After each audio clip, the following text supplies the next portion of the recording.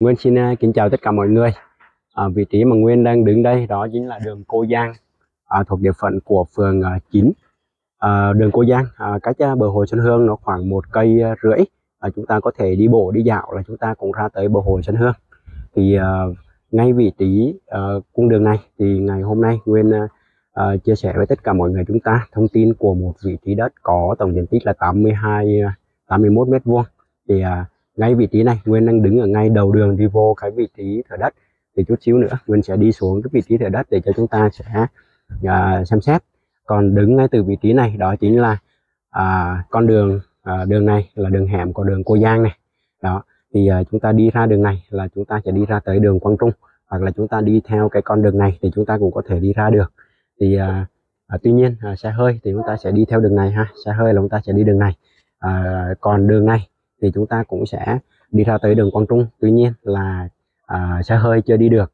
Và từ à, vị trí này à, chúng ta à, đi khoảng 150 mét là ra ngay chỗ mà ủy ban của à, phường 9 à, đường Quang Trung.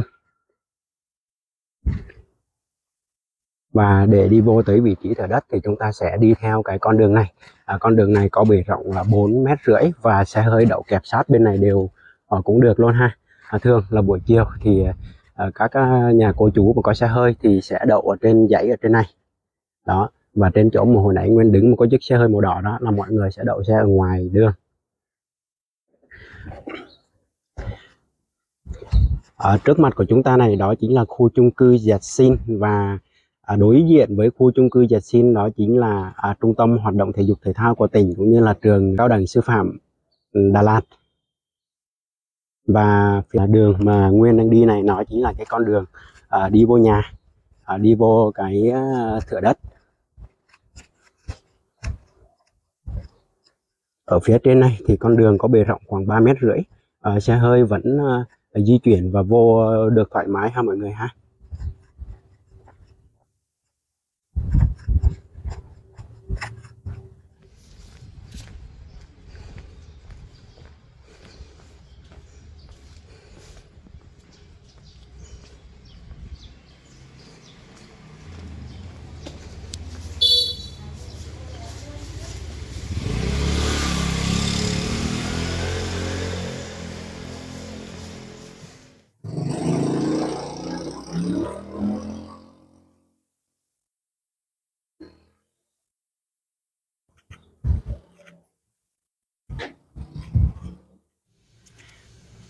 À, đây là không gian của ở trên uh, thửa đất ở 81 mét vuông mà Nguyên đang chia sẻ với tất cả mọi người. Thì hiện hữu ở trên cái thửa đất này đã có một căn nhà gỗ cũ.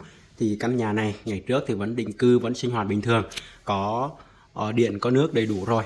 Thì thời gian gần đây nhất ấy, thì uh, vì là không có ở nữa cho nên là căn nhà được uh, cho hàng xóm mượn để mà để các cái À, vật liệu xây dựng à, xây nhà. À, hiện tại bây giờ hàng xóm đã xây xong và đã trả mặt bằng lại.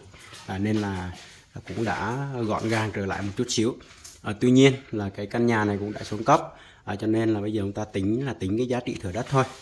À, với cái tổng diện tích 81 mét vuông mặt tiền 4 mét 65 là tính từ à, sát cái trụ đen này ha.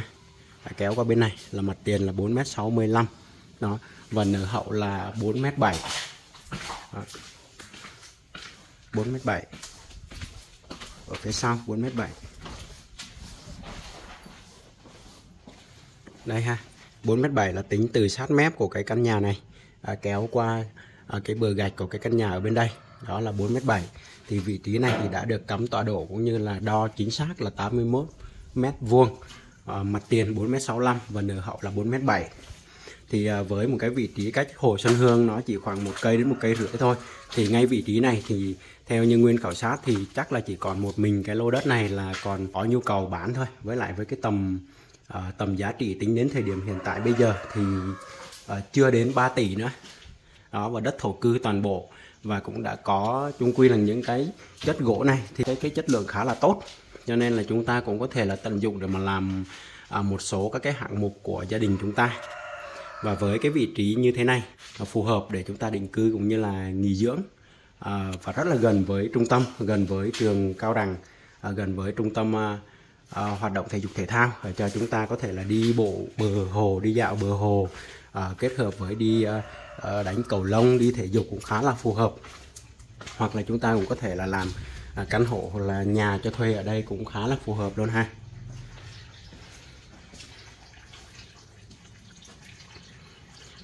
À, với 81 mét vuông như thế này ở ngay trung tâm thành phố Đà Lạt và cách Hồ Xuân Hương nó chỉ khoảng một cây một cây rưỡi thôi. Thì à, quý mọi người chúng ta có quan tâm về à, vị trí này thì liên hệ với em Nguyên để em Nguyên sẽ à, cung cấp thêm các cái thông tin về sổ sách vị trí để cho mọi người tham khảo sẽ à, chính xác và cụ thể hơn ha. À, Nguyên xin à, cảm ơn tất cả mọi người.